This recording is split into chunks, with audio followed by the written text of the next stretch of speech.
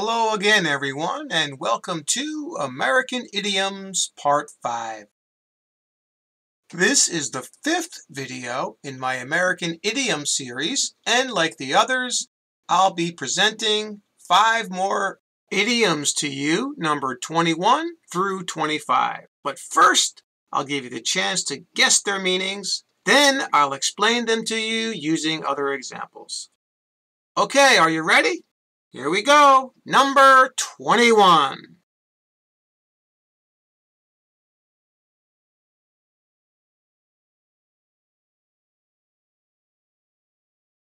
The example is, I want to help my friend fix his car this weekend, but I have a lot on my plate right now, so I probably won't be able to assist him. Can you guess the meaning?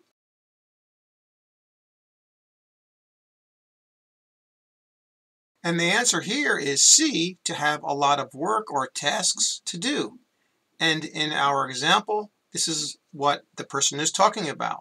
He wants to help his friend fix his car, but he has a lot on his plate right now, which means he has a lot of things that he has to do. So he's not going to be able to help his friend. All right, that's what to have a lot on your plate means. To have a lot of things to do. Think about a big meal with many things to eat. All right, let's look at another example. My uncle owns and runs his own construction company, so he usually has a lot on his plate during the summer months.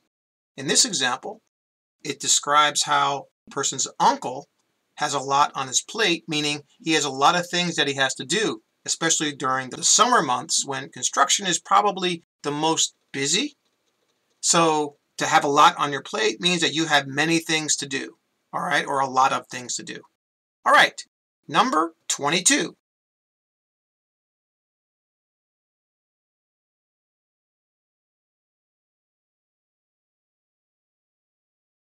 The example is working over 80 hours a week is all in a day's work for most doctors. Can you guess the meaning?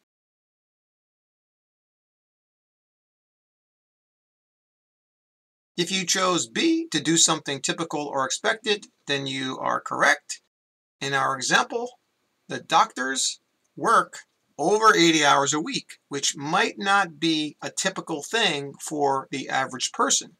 But a doctor, they work like this almost every week. That's all in a day's work. That's how they work. They're expected to work these kind of hours. All right, here's another example. Every class in primary school has its share of students who are difficult to teach, but to their teachers, it's all in a day's work. So, like our last example about the doctors working 80 hours a week, which usually the average person doesn't do, teachers deal with and teach difficult students. Let's say that's part of their job. It's all in a day's work for them. It's a typical thing and they're expected to teach that way. So even though it's hard for the average person, it's all in a day's work for a teacher. Now for idiom number 23.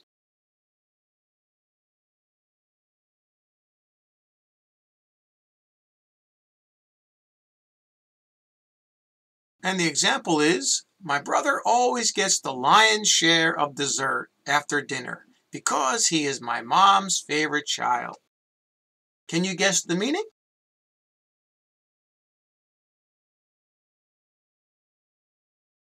If you guess C to get the largest amount of something, you are correct. And in our example, it talks about how the person's brother gets the lion's share, gets the largest portion of dessert. Okay, and in this case, it's because he was the favorite of his mom. But the lion's share of something is the greatest or largest amount of something. Here's another example. She did the most work on our last project, so she deserves the lion's share of the credit for its success. In this example, we see how the person deserved the largest share of the credit. All right, so the lion's share is the greatest amount. So most of the credit should go to the girl in this example That is the lion's share. Got it? Okay, here's number 24.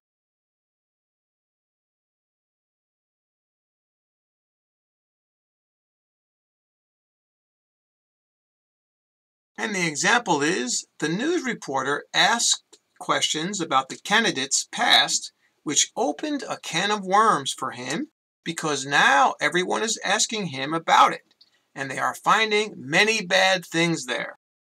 Can you guess the meaning?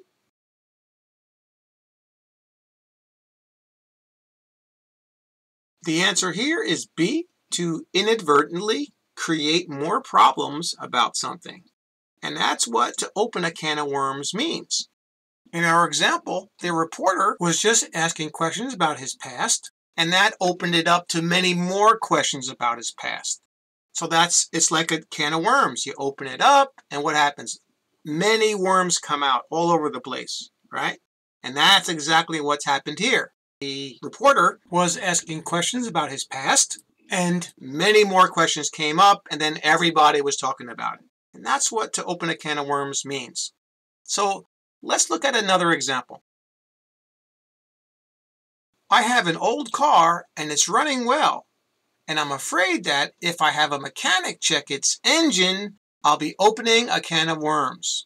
All right, same idea here. The person is afraid to let the mechanic look at it because once he does, because it's an old car, he's going to find more problems. It's like opening a can of worms. You open it up, there's worms everywhere. There will be problems everywhere, and that's what it means. All right, here's the final idiom, number 25.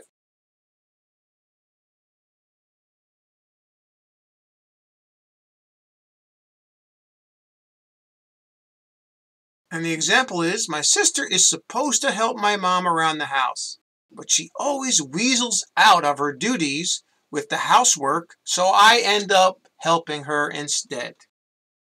Can you guess the meaning?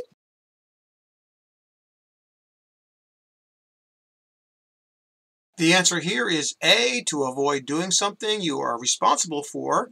And in our example, the person's sister was supposed to help their mom around the house, but according to the example, she always gets out of it. She always avoids doing it. She weasels out of doing these duties.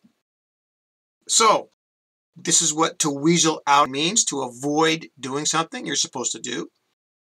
And here's another example. I'm required to work on the weekends once a month, but my colleagues at work are able to weasel out of this responsibility somehow every month. Hmm, so we see the same kind of a thing where people are supposed to work like this person is required to, so I imagine that his colleagues are required to also, but they avoid doing it. They weasel out of it each month. You see how it works?